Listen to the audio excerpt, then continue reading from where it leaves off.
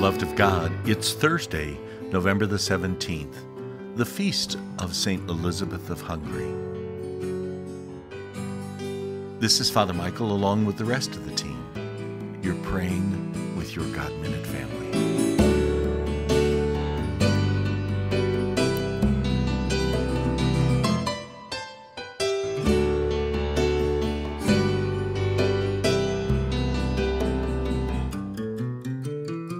Today, the church celebrates the feast of St. Elizabeth of Hungary. And one of the things that I would like to say about her is that, first of all, she was royalty in her own land, in Hungary. And one of the things that she loved and admired was not only God, but the poor, because she felt that she saw God in the midst of the poor.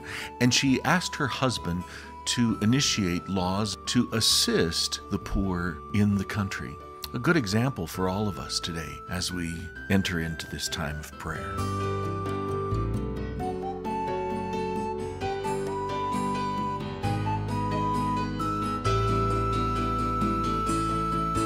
In the name of the Father, and of the Son, and of the Holy Spirit.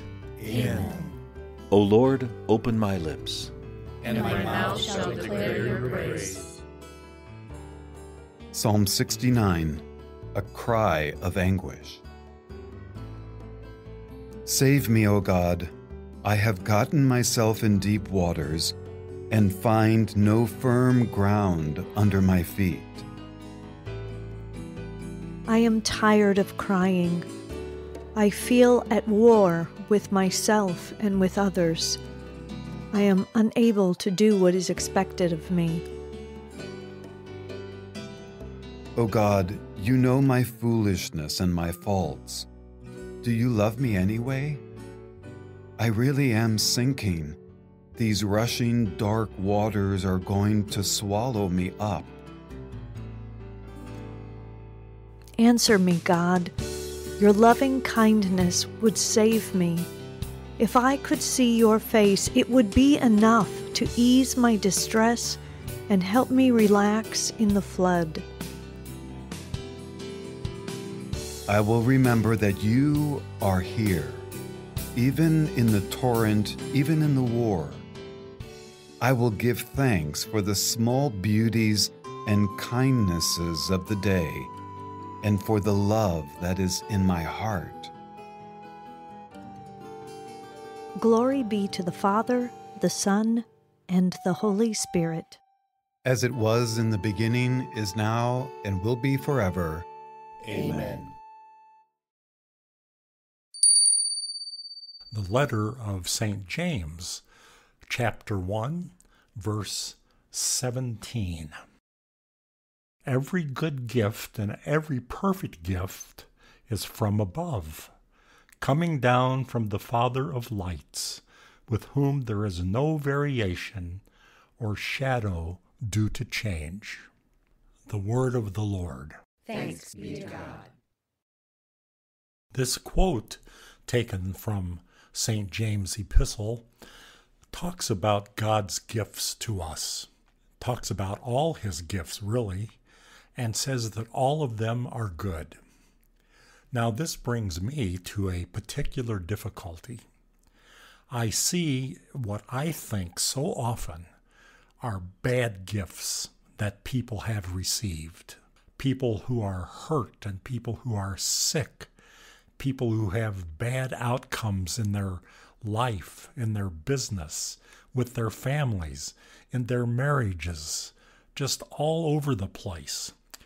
Even young little toddler babies who are born sick and maybe have to live with this disease or these deformities all their lives. What is so good about that? Reminds me of that book written by a rabbi that came out years ago when bad things happen to good people. It seems like that happens all the time.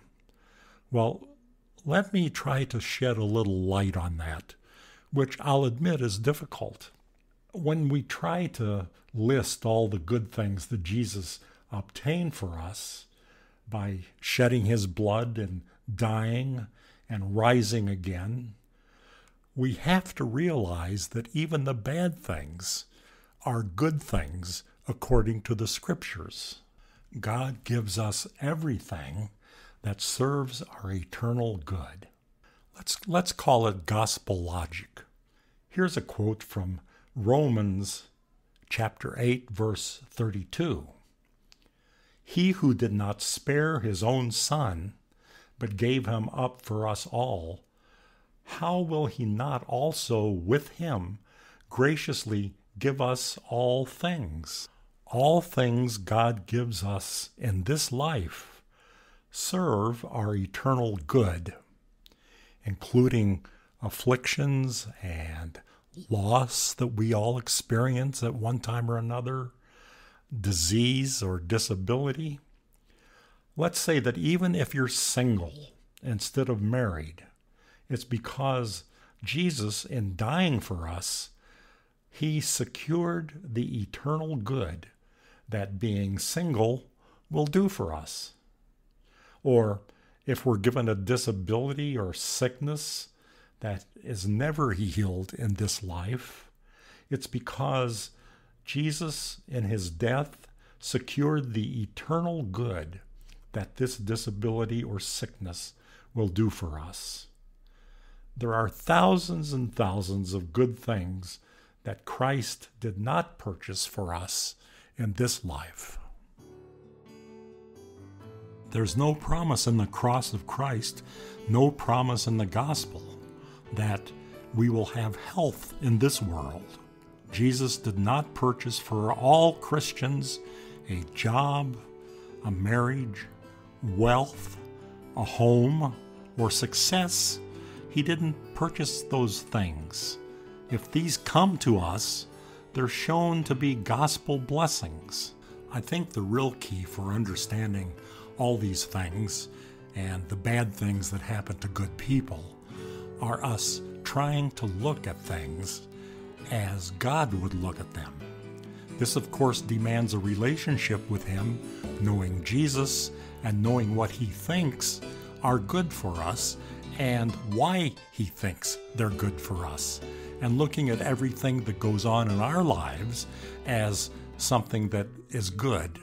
How do you look at things that most people consider bad as good? That's for us to decide. And that's my reflection and really our homework if we want to understand it. God bless, my friends.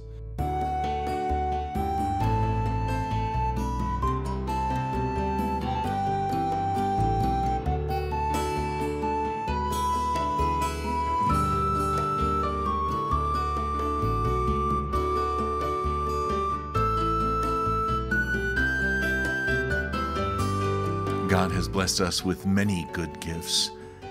And so we give thanks and praise to God as we raise our voices in praise of our God as Jesus taught us.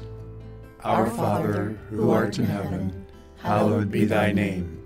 Thy kingdom come, thy will be done, on earth as it is in heaven. Give us this day our daily bread, and forgive us our trespasses as we forgive those who trespass against us. And lead us not into temptation, but deliver us from evil. Amen. Let us pray. Father, you are the Lord and the giver of gifts. And though we may not always understand the purpose of your giving, we are grateful. We praise you and thank you for the many ways that you bless us with things that teach us of your love, teach us of your mercy, and teach us of your goodness. May the grace that you pour out into us enable us to better serve you and our brothers and sisters. This we ask through Christ our Lord. Amen. The Lord be with you. And with your spirit. May Almighty God bless you, the Father, the Son, and the Holy Spirit. Amen. Brothers and sisters, thanks so much for joining us in prayer today. Do take good care of yourself and one another, and gift somebody with your goodness. Have a blessed day.